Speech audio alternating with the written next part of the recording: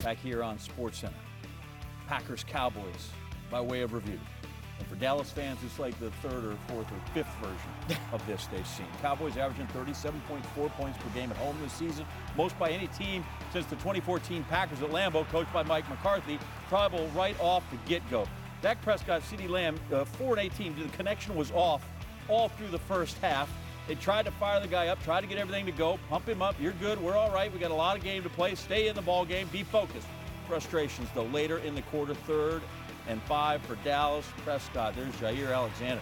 Fought hard through his man and gets to the ball. First interception of the season for the highest paid quarterback in the NFL. Earns it after missing 10 games.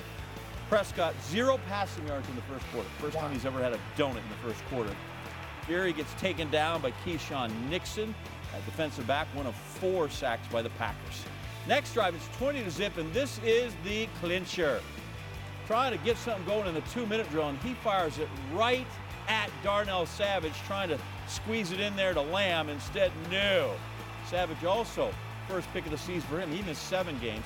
Prescott one of five, eight yards, targeting Lamb. To that point in the game, Packers led 27 nothing. The fans owe the horror or the woe. Cowboys down 25. They go for it for fourth and five. Nobody knows where that is because pressure is the enemy of quarterbacks. Jarrett, not a good day. Packers big. Dak knows it and gets it.